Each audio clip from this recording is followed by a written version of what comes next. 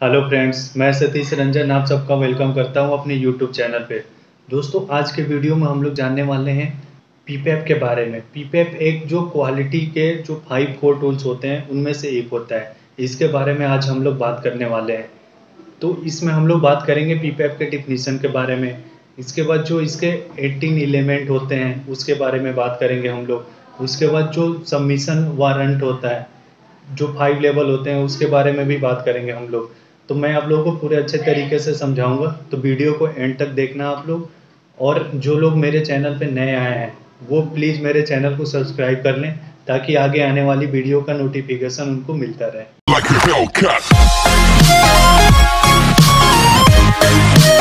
दोस्तों अब हम लोग बात करते हैं पीपेप के बारे में पीपेप के डिफिनीसन के बारे में। दोस्तों पीपेप का फुल फॉर्म होता है प्रोडक्शन पार्ट अप्रूवल प्रोसेस जिसको कि सीरीज़ ऑफ़ डॉक्यूमेंट भी बोला जाता है। पीपेप क्वालिटी के फाइव कोर टूल्स में से एक है। पीपेप को इनिशियली डेवलप किया गया था एआईएजी के द्वारा। एआईएजी का मतलब है ऑटोमोटिव इंडस्ट्री एक्शन ग्रुप इसके द्वारा डेवलप किया गया था 1993 में। जो बिग थ्री कंपनियाँ हैं, उनके मदद से इसको डेवलप किया गया था।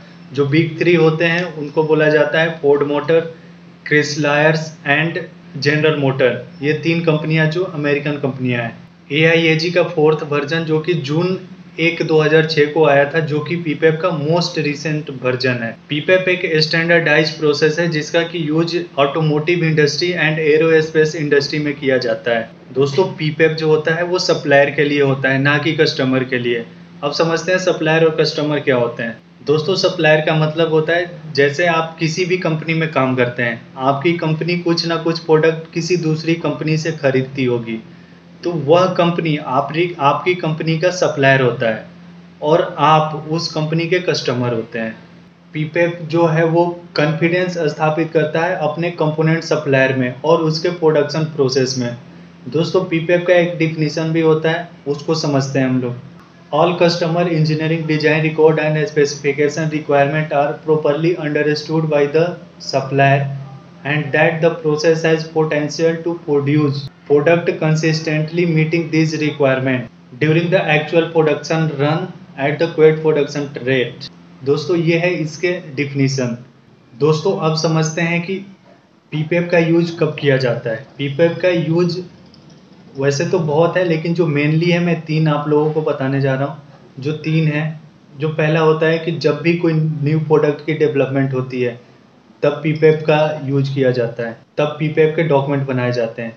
जो दूसरा है, जब कोई प्रोडक्ट और प्रोसेस में चेंज होता है, तब पीपेप के डॉक्यूमेंट बनाए जाते हैं। तीसरा है, जब कोई सप्लायर एंड मटेरियल में कोई चेंज होता है, तब पीपेप के डॉक्यूमेंट बनाए जाते हैं। दोस्तों, अब समझते हैं पीपेप से बेनिफिट्स क्या है। जो पहला बेनिफिट है पीपेप हेल्प करता है डिज़ाइन इंटीग्रिटी को मेंटेन करने में। दूसरा है, जो इशू है, उसको पहले ही आइडेंटिफाई करने और उसको सोल्यूशन करने में मदद करता है। यह सप्लायर को आइडेंटिफाई करता है कि उसको और डेवलप करने की ज़रूरत है। इम्प्रूव करता है ओवरऑल ओवरऑल प्रोडक्ट की क्वालिटी और कस्टमर के सेटिस्फेक्शन को। सप्लायर चेंज करने में मदद करता है। तो दोस्तों, ये हैं इस पीपीएफ के बेनिफिट्स अब हम लोग बात करते हैं कि जो पीपीएफ के पाँच सबमिशन लेवल होते हैं उसके बारे में बात करते हैं। फिर उसके बाद हम लोग जो इसके 18 एलिमेंट है, उसके बारे में बात करेंगे। दोस्तों, जो पीपीएफ के पाँच सबमिशन लेवल होते हैं, उनमें जो ये 18 एलिमेंट हैं, उनको सबमिट किया जाता है।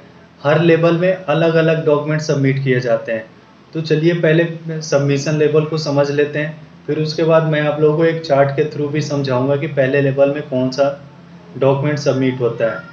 तो जो पहला लेवल है, वो है, वो कहता है part submission warranty and appearance approval report submitted to customer if possible मतलब इस लेवल में पार्ट सबमिशन वारंट सबमिट होगा। ये एक फॉर्मेट होता है पार्ट सबमिशन वारंटी की। वो सबमिट होगा और अपियरेंस अप्रूवल रिपोर्ट सबमिट होता है। जो दूसरा लेवल है, उसमें होता है part submission warranty with product sample and limited supporting data इसमें पार्ट सबमिशन वारंटी का फॉर्मेट आप सबमिट करेंगे और प्रोडक्ट का सैंपल जो आपका प्रोडक्ट डेवलप कर रहे हैं, उसका सैंपल आप कस्टमर को देंगे और कुछ लिमिटेड सपोर्टिंग डाटा वो भी कस्टमर के पास सबमिट करने की ज़रूरत होती है। दोस्तों, जो तीसरा लेवल है, उसमें क्या होता है? Part submission warrant with product sample and complete supporting data उसमें दिया जाता है कस्टमर को। ये तीसरा लेवल है। जो चौथा लेवल है, उसमें part submission warranty and other requirement defined by customer जो कस्टमर की अदर रिक्वायरमेंट होती है, उसको सबमिट किया जाता है। जो लेवल पाँच है, उसमें part submission warranty with product sample and complete supporting data available at the manufacturing location at supplier and मतलब कि सप्लायर एंड पे ये सारे डाटा जहाँ पे पार्ट प्रोड्यूस हो रहा है, वहाँ पे कस्टमर की एक बार विज़िट होती है, वो सारे डाटा को रिव्यू करते हैं, उसके बाद एक्शन लेते हैं। तो ये पाँच लेवल हैं दोस्तों।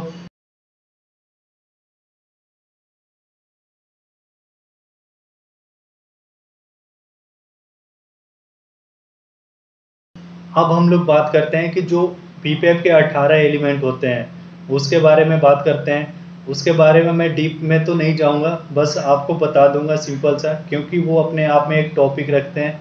वो बहुत वीडियो बहुत लंबा हो जाएगा, इसलिए मैं आप लोगों को उसके बारे में बस उसके डिफिनीसन बता दूँगा। हो सके तो उसके फॉर्मेट भी आपको दिखा दूँगा। तो चलिए उसके बारे में बात करते हैं। दोस्तों, जो पहला डॉक्यूमेंट है, पहला एलिमेंट है, वो है डिज़ाइन रिकॉर्ड बोलते हैं उसको। जो भी आपकी ड्राइंग होती है प्रोडक्ट की ड्राइंग उसको शेयर किया जाता है कस्टमर और सप्लायर के बीच में। ये हमारा ड्राइंग है, इस हिसाब से इसको करना है। दूसरा होता है ऑथोराइज इंजीनियरिंग चेंज डॉक्यूमेंट मतलब कि इसको ई e भी बोलते हैं इंजीनियरिंग चेंज नोट अगर कोई भी चेंज होता है तो इसका, इसको सबमिट किया जाता है। तीसरा होता है कस्टमर इंजीनियरिंग अप्रूवल इसमें क्या होता है कि एक ट्रायल किया जाता है कस्टमर के यहाँ पे, जिसकी ज़रूरत पीपैप से पहले कस्टमर के पास भेजने के लिए किया जाता है। चौथा होता है design F M design failure mode and effect analysis भी बोलते हैं इसको। इसमें डिज़ाइन के फेलियर मोड को एनालाइज किया जाता है कि कहाँ पे आपके डिज़ाइन में फेलियर है। जो पाँच नंबर है, वो है पीएफडी जिसको प्रोसेस फ्लो डाइग्राम भी बोलते हैं। आपके प्रोसेस का सीक्वेंस किस तरीके से फ्लो कर रहा है, इसमें वो दर्शाया जाता है। जो सिक्स नंबर है, वो है पी एफ़ एम ई है जिसको process failure mode and effect analysis भी बोलते हैं। इसमें प्रोसेस के फेलियर को डिस्क्राइब किया जाता है, इसमें आर पी एन नंबर को मेजर किया जाता है कि प्रोसेस में फेलियर किस तरीके से आ रहे हैं, उसके बारे में इसमें डिस्कस किया जाता है। जो सात नंबर एलिमेंट है, वो है कंट्रोल प्लान कंट्रोल प्लान वो होता है, जैसे जो आपके प्रोसेस का सीक्वेंस है, उसके ऊपर बनाया जाता है कि आपके प्रोसेस किस तरीके से करेंगे, उसमें क्या क्या इंस्ट्रूमेंट यूज़ होंगे, क्या पैरामीटर होंगे, उन सबको कंट्रोल किया जाता है कंट्रोल प्लान के थ्रू आठवां एलिमेंट है एम जिसको एम बोलते हैं मेज़रमेंट सिस्टम एनालिसिस इसमें हम जो मेज़रमेंट के इरर होते हैं, उसको आइडेंटिफाई करते हैं और जो नौ नंबर है वो डायमेंशनल रिज़ल्ट होता है। डायमेंशनल एनालिसिस बोलते हैं इसको, जिसमें कि जो भी आपके प्रोडक्ट की डायमेंशन है, जो भी ड्राइंग में मेजर की जाती है, दिया हुआ है उसकी एक लिस्ट बनाई जाती है, उसके स्पेसिफिकेशन को दिखाया जाता है और उसकी इंस्पेक्शन की जाती है। दसवा है रिकॉर्ड ऑफ़ मटेरियल्स ग्यारह नंबर है इनिशियल प्रोसेस स्टडी जिसको हम लोग एस भी बोलते हैं। एसपीसी के ऊपर मैंने वीडियो बना रखी है, आप लोग उसको देख करके वहाँ से समझ सकते हैं। बारह नंबर है क्वालिफाइड लेबोरेटरी डॉक्यूमेंट इसमें क्या करते हैं कि जो डॉक्यूमेंट होती है लैब के थ्रू उसकी टेस्टिंग की जो कुछ भी रिकॉर्ड होते हैं, उसको दिखाया जाता है शो किया जाता है। कस्टमर को सबमिट किया जाता है। तेरह नंबर है अपियरेंस अप्रूवल रिपोर्ट चौदह नंबर है सैंपल प्रोडक्शन पार्ट एक सैंपल तैयार किया जाता है अपने प्रोडक्शन से कि ये हमारा सैंपल है, इसको कस्टमर को सबमिट किया जाता है। जो ड्राइंग के अनुसार आप पार्ट बनाते हैं, एक सैंपल के तौर पे बनाते हैं, उसको दिखाया जाता है कि हम इस तरीके से पार्ट को बनाएँगे। पंद्रह नंबर है मास्टर सैंपल फिर उसके बाद कुछ सैंपल को हम लोग कस्टमर से अप्रूव करवा लेते हैं और उसको फिर हम लोग मास्टर सैंपल कर लिख देते हैं। कहते हैं कि ये जो मास्टर सैंपल है, इसके जैसा ही पार्ट होना चाहिए।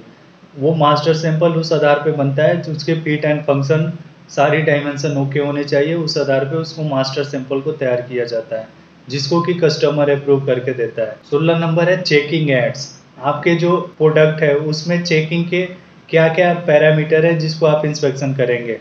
कौन कौन से चेकिंग के लिस्ट है आपकी ड्राइंग में मेजरेबल जिसको आप लोग प्रोडक्ट बनने के बाद मेजर करेंगे। सत्रह नंबर है कस्टमर स्पेसिफिक रिक्वायरमेंट अठारह नंबर है पार्ट सबमिशन वारंटी जिसको पीएसडब्ल्यू भी बोलते हैं।